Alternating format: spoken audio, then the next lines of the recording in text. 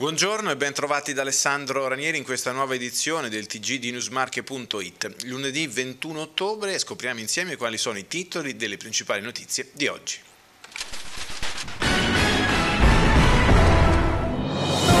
Manifestazione sotto la pioggia dei lavoratori del gruppo Indesit a Fabriano, in attesa del tavolo di oggi pomeriggio a Roma al Ministero. Femminicidio insegue l'ex con un coltello, 44enne in stato di fermo a Porto Sant'Elpidio.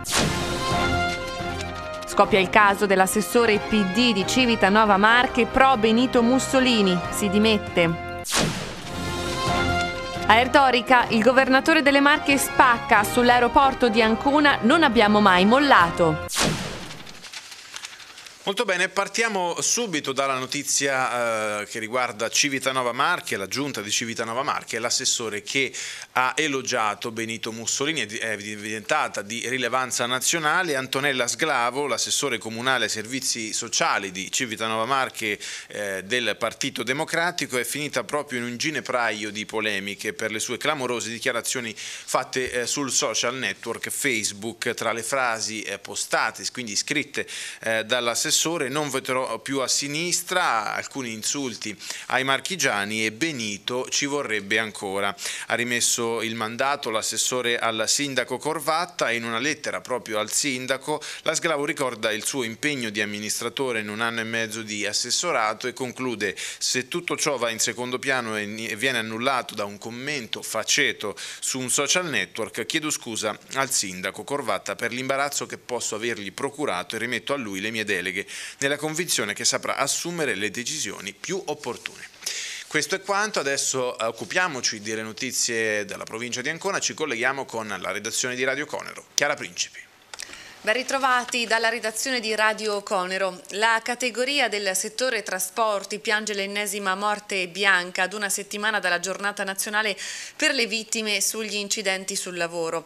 A perdere la vita questa volta in un tragico incidente alla stazione di Falconara Marittima a pochi passi dalla pensione Luciano Serrani, 61 anni. A Erdorica non è nel modo più assoluto senza guida, tutt'altro, non lo è mai stata e non lo è oggi. Così il presidente pro tempore di Erdorica SPA, Paolo Costanzi, che è il rappresentante della Regione Marche nel Consiglio di amministrazione.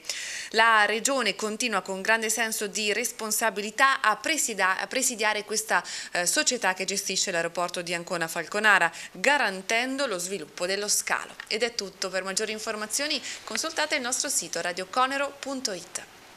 Grazie Chiara. Ha rincorso la sua ex con un coltello in mano accecato dalla rabbia, non accettava la fine della loro relazione. È successo eh, per le vie del centro di Porto Sant'Elpidio, in provincia di Fermo, dove un 44enne con precedenti di polizia ha inseguito la donna, una romena di 32 anni, minacciandola di morte dopo averla vista insieme al nuovo compagno. L'intervento immediato dei carabinieri e dell'attuale compagno della 32enne hanno scongiurato il peggio. Per l'uomo è scattato il fermo, dovrà rispondere risolvere dei reati di atti persecutori e tentato omicidio. È giunto il momento di collegarci con la redazione di Radio Velluto, ascoltiamo Alberto Olivieri. Grazie e ben trovati. Brutta caduta dalla sua moto da cross presso la pista Sant'Angelo di Senigallia è successo sabato scorso 19 nelle prime ore del pomeriggio un diciassettenne senegallese stava percorrendo un tratto in discesa della pista dove è caduto rovinosamente a terra battendo la testa. Sul posto è intervenuta l'eliambulanza che ha trasportato il giovane pilota all'ospedale regionale di Torrette di Ancona per gli accertamenti del caso. Il diciassettenne senegallese è rimasto sempre cosciente, non è in pericolo di vita. La Vigor batte la Monturanese per due reti a zero, due reti di Denis Pesaresi, arriva la prima vittoria in questa stagione contro la Monturanese al quarto tentativo casalingo, il settimo in assoluto. La speranza che per i rossoblù sia solo la prima di tante soddisfazioni che conducano alla salvezza. È tutto. E questa era l'ultima notizia di oggi, si conclude quindi il TG di newsmarket.it, grazie per averci seguito, appuntamento sempre qui alle ore 19, buona giornata.